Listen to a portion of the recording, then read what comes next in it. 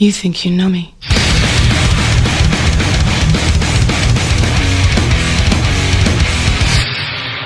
On this day, I see clearly everything. colorful outfits, high flying. You have no idea the pain that I've gone through. It's the best gig in the world. He was never the biggest, never the strongest, never the fastest. When it comes to do or die situations, I thrive. The rated R superstar. jam-packed crowd here in Toronto's Maple Leaf Gardens for this fantastic event. These people are humongous, bigger than life, brighter than life. It was mind melting. I was 11 years old when I moved to Orangeville. I was a really shy kid. We started talking about wrestling. And he was as avid about it as I was. My family took him in, and he was with us a lot, you know, for dinners. He went on family trips with us. And that was it. Like all bets were off at that point. First from Holmesville, Ontario, he stands six foot five inches tall. He weighs 218 pounds. This is Adam Copeland. So this went a long way to making me realize that okay, I, I, I'm on the right track. Hey, Carl, what's going on? And he goes, You got a contract, and it's waiting for you. It almost feels like the second half of my life started there. You think you know me.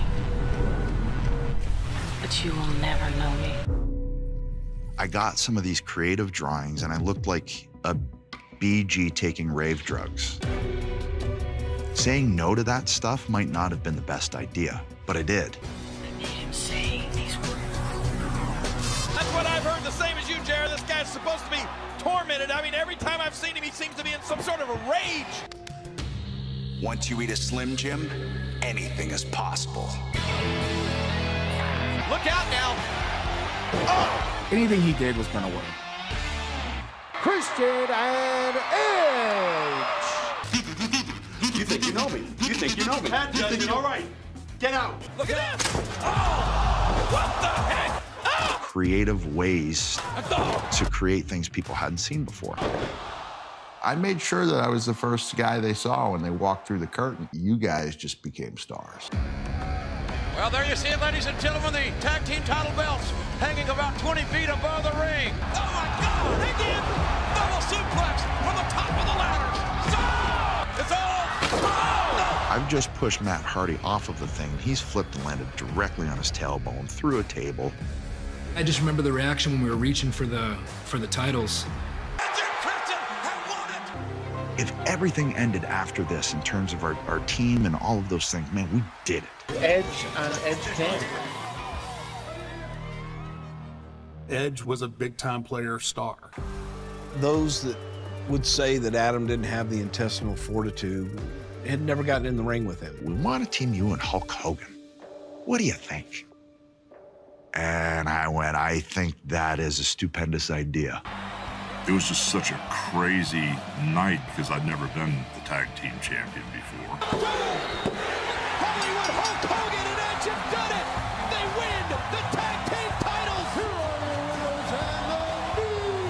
It can be extremely difficult for a guy to go from being a babyface to a heel.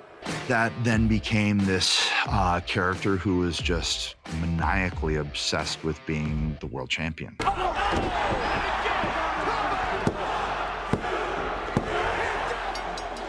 has shocked the world. Mick Foley from my career was absolutely what Edge needed.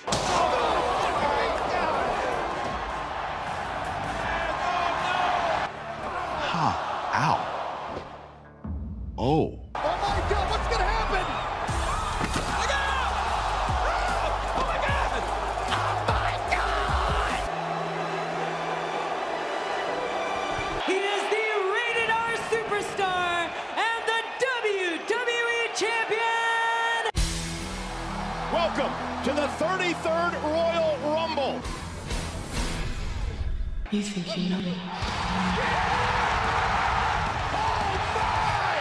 Unbelievable live response.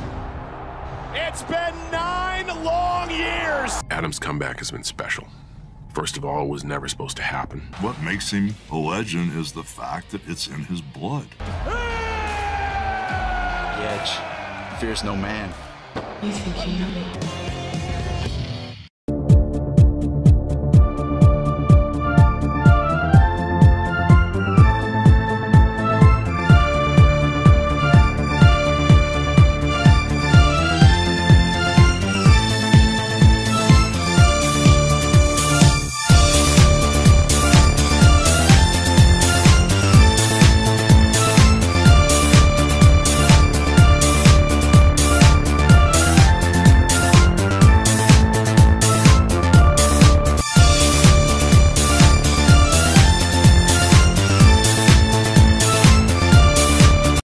Check it out. More. Check them out.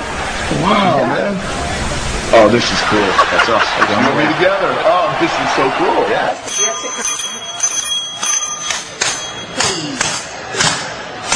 You see, there's a reason people like me are champions. And there's a reason people like you are standing behind a desk in the middle of nowhere in your mid 30s with a haircut like somebody put a bowl on your head and cut around it. You got it? Yes, sir. Good. Got it? Yes, sir. Be about your business. Bye bye. Hit the bricks. Bye bye. We need, we need some champagne. This is a celebration, so you have exactly three minutes to go get it. Got it? Good. Oh, there's the breakfast nook where the Cenas ate their Count Choculas and Cocoa Puffs growing up. Look at young John. Bless his heart, he still has the same haircut and seeing a wall of crap. Oh! Oh, oh that had to hurt. Then we, we, we make our way over the tacky furniture. and since he didn't graciously show us the door, we made our own way out.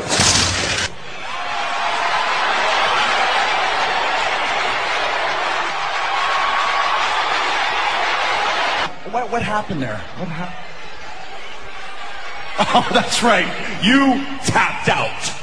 What you need to learn is that this is my house. This is my show. Respect me. What makes you think that anybody cares about you, the Sooners, and uh, give a damn about you at all? From here on in, it's going to have to be Edge wins! Edge wins! Edge wins!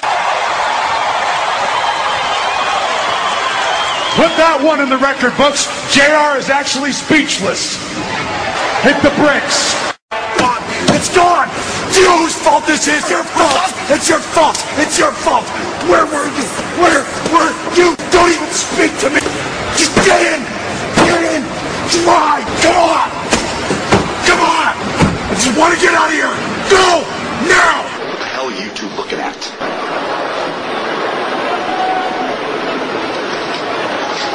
Get out of my ring, mark. Hit the bricks, Toots, before Lita beats your ass.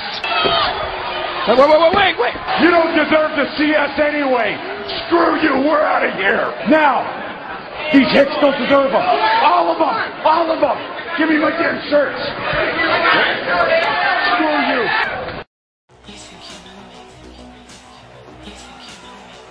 You think you know me? You think you know me? We are about to uh, see the debut of Edge, and we are back here in the Frank Erwin Center. Edge on his way to the ring. All we know about this young man is that we are told he is some sort of tortured soul. I know he's 6'4", about 240 from Toronto.